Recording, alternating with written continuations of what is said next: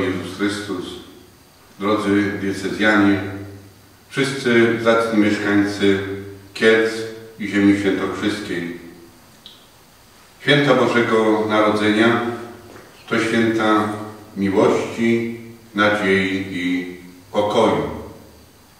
Tak jak w Betlejem aniołowie wyśpiewali ten piękny hymn. Chwała na wysokości Bogu, a na ziemi pokój ludziom dobrej woli.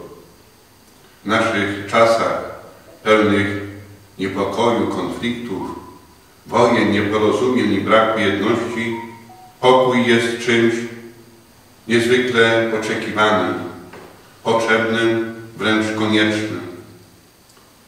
Aby ten pokój zagościł w naszych sercach, potrzeba naszych autentycznych spotkań Jezusem Chrystusem, którego prorok Izajasz nazywa księciem pokoju.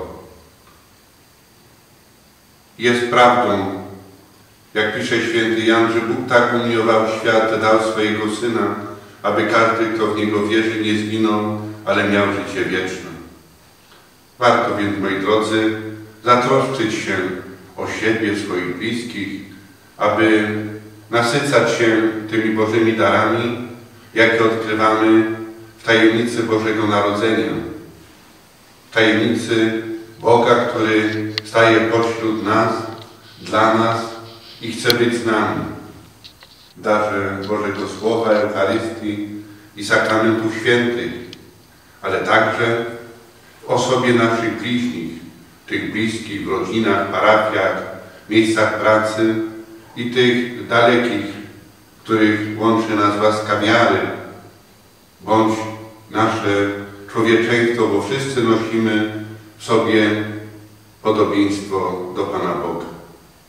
Życzę, aby święta Bożego Narodzenia dla wszystkich były czasem łaski, nadziei i pokoju.